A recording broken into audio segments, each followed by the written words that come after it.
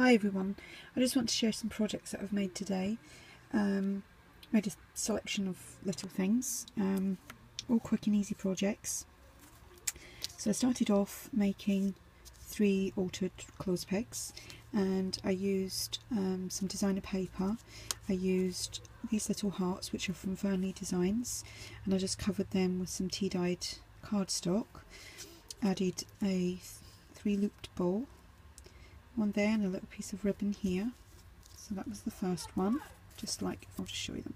They're only the small clothes pegs. So there's that one and then this one. Again using a Fernli um, heart. And the flowers are from Iron Roses. And this one here. Love the polka dot paper. So that was them three. Oops. That one doesn't want to set out properly. There we go then again using some Fernli Designs um, cuts I used the dominoes and I used some images on them then I uh, went over them with some UTEE.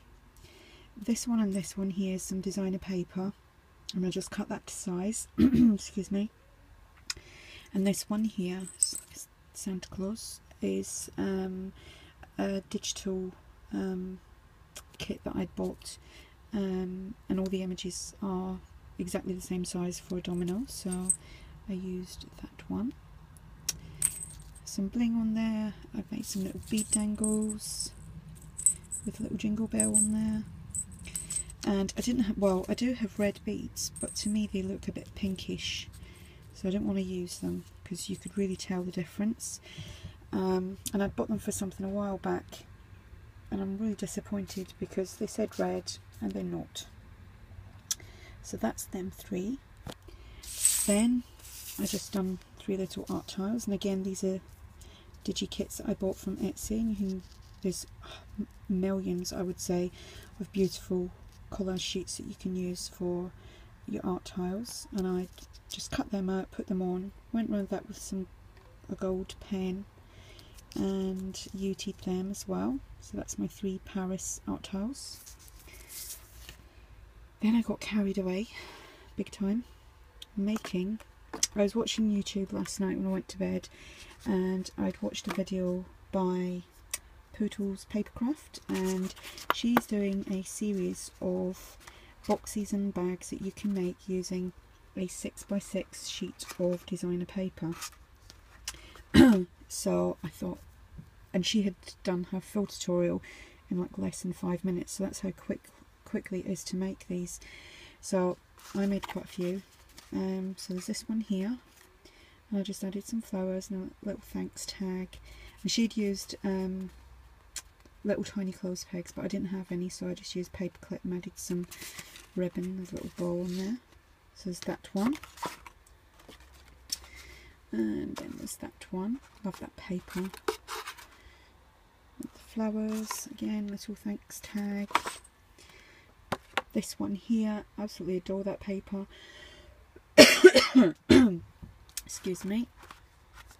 Paper's lovely.